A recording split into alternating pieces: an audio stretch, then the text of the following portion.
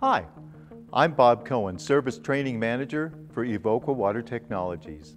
In this video, we introduce reverse osmosis. You may have heard about reverse osmosis, or RO. Perhaps you have an RO under your kitchen sink. Maybe you have read about desalinization, the use of RO to produce potable water from seawater. In this video, we focus on reverse osmosis use in commercial and industrial applications.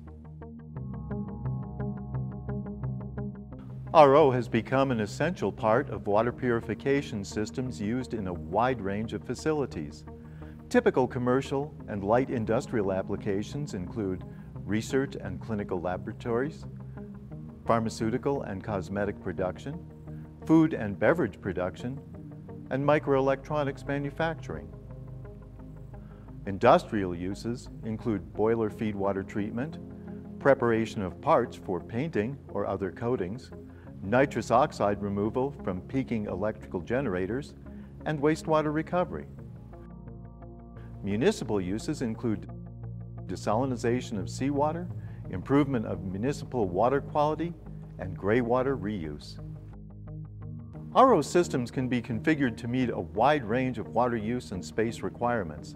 Evoqua can also supply trailer-mounted RO systems to meet temporary needs. What is RO? Simply put, RO is a water purification technology that uses semi-permeable membranes to remove ions from water. In a typical commercial industrial application, feed water, which is the water to be treated, goes into the RO. 75% of the feed water is purified. It flows to the application. And 25% of the water is rejected. It flows to drain. In applications in which water conservation is important, 85% of the feed water is purified. It flows to the application. And 15% of the water is rejected. It flows to drain. To provide a more detailed explanation of how reverse osmosis works, Let's first look at how osmosis works. Suppose you have an unsalty water and salty water separated by a semi-permeable membrane. Unsalty water flows through the semi-permeable membrane to the salty water side. An example of osmosis in nature is water absorption by plants. Water in the soil is unsalty and water in the root cell is saltier.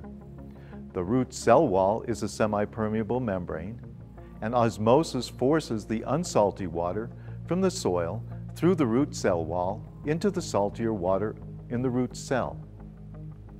In a closed vessel, osmosis is reversed by using a pump to pressurize the salty water. Why do commercial or industrial customers choose RO for water purification? RO systems are relatively simple to operate hazardous chemicals are not required, and wastewater treatment is not required. If the dissolved solid levels in the water supply is greater than 250 milligrams per liter, an RO system is less expensive to operate than a deionization system. If the dissolved solids level in the water supply is between 150 and 250 milligrams per liter, enhanced water recovery systems may make an RO system less expensive to operate than a deionization system. Like all technologies, RO has some disadvantages. RO is susceptible to plugging or fouling by suspended solids, organics, and bacteria. Additional treatment, such as continuous electrodeionization, is often needed to meet water purity requirements. Oxygen and carbon dioxide readily pass through RO membranes. I hope you've enjoyed our introduction to reverse osmosis. Thanks for watching. For more information on reverse osmosis and other water technologies, I invite you to visit our website at www.evoqua.com.